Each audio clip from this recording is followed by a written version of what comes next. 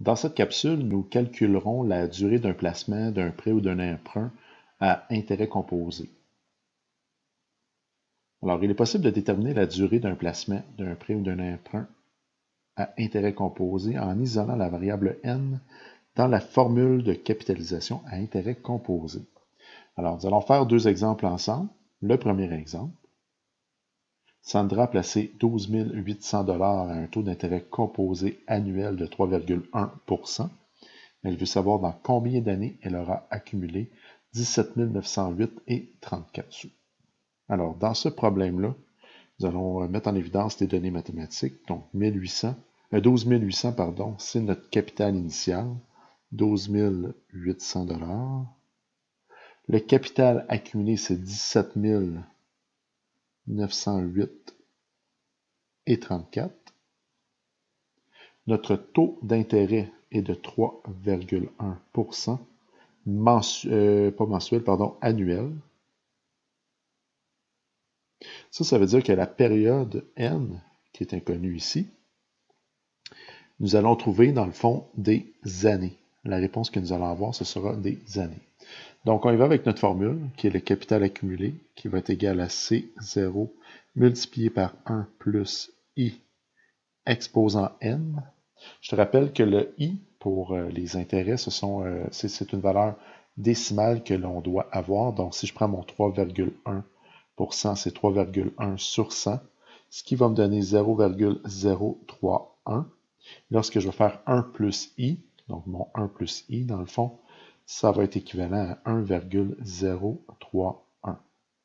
Donc, on ramène ça dans notre formule. 17 908 et 34. Ça va être égal à 12 800 multiplié par 1,031 exposant n. Et là, il faut faire attention à notre priorité des opérations. Je ne peux pas me lancer dans n'importe quel calcul. On doit commencer par isoler. Donc, euh, ici, on a une multiplication. Ici, on a un exposant. Normalement, c'est l'exposant qui va être priorisé. Mais comme on ne connaît pas l'exposant, ce qu'on va faire, c'est qu'on va isoler. Donc, on va diviser les deux côtés de notre égalité par 12 800. Donc, autant à droite qu'à gauche. Ce qui va me donner à gauche 1,399, trois petits points qui sera égal à 1,031 exposant n. Bon, on arrive à notre, euh, au moment où on va utiliser nos logarithmes pour trouver la valeur du n, donc de l'exposant. Quelle valeur je dois donner à 1,031 pour obtenir une réponse de 1,399? OK? Moi, petite parenthèse, ici, mon 1, la réponse de, de ma division de 17 908 et 34 divisé par 12 800, je l'ai mis en, j'ai fait un store avec. Je l'ai mis dans la touche A de ma calculatrice. Ça va nous être utile par la suite. Donc, transformons cette expression-là en expression logarithmique. Donc, n, mon exposant, va être égal au logarithme en base 1,031 de 1,3993 petits points. Si je veux être capable de calculer la valeur de mon exposant, je dois effectuer un changement de base. Donc, n va être égal au log de 1,399, 3 petits points, divisé par le log de 1,031, ce qui va me donner comme réponse, étant donné que j'ai fait un store dans ma calculatrice, 11,0003 petits points. Donc, on peut dire 11, 11 quoi?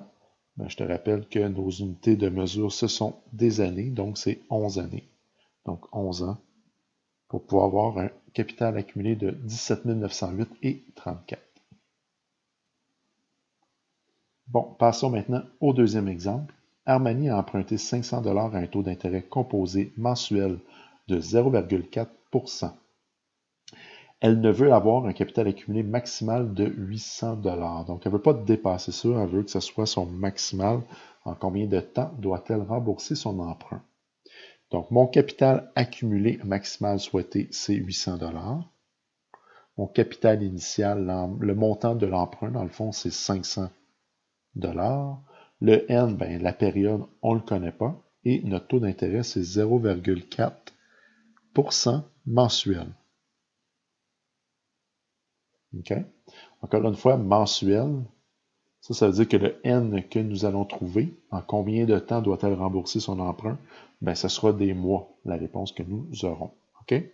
Donc, 0,4% c'est 0,4 sur 100. Il faut faire attention, hein, parce que là, ça va me donner 0,004 et non pas 0,04.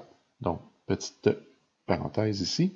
1 plus i va donc me donner 1,004. Donc, je reprends ma formule de départ. Cn qui est égal à C0, 1 plus i, exposant n. Donc, 800 va être égal à 500 multiplié par 1,004 exposant n. Donc, je me suis permis euh, de faire une petite, euh, un petit raccourci parce que j'avais effectué le travail juste ici. Donc, divisons les deux côtés de notre égalité par 500, ce qui va me donner 1,6, qui va être égal à 1,004 exposant n. Donc, quelle doit être la valeur de mon exposant n que je dois attribuer dans le fond à 1,004 pour obtenir une puissance de 1,6. Donc, on va transformer ça en expression équivalente mais logarithmique. Donc, log en base 1,004 de 1,6. On va effectuer notre changement de base. Donc, log de 1,6 divisé par log de 1,004. Et lorsque j'effectue mon calcul, donc le logarithme de 1,6, je ferme ma parenthèse, je divise par le logarithme de 1.004, ça va me donner 117,735, trois petits points. Puis je te rappelle que comme notre taux d'intérêt était mensuel, ce sont des mois. Donc un petit peu plus que 117 mois, donc un petit peu moins que 118 mois.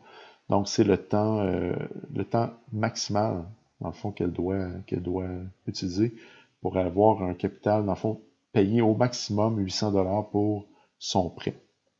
Donc euh, voici comment nous euh, calculons, dans le fond, le N, la période dans un calcul de capital, dans un calcul pardon d'intérêt composé. Donc on voit qu'on a utilisé nos logarithmes pour y arriver. Donc euh, si c'est encore un peu flou pour toi les logarithmes, je t'invite à faire des à te pratiquer dans ton cahier d'exercice pour être sûr de, de bien faire les choses. Sur ce, je te souhaite une excellente fin de journée.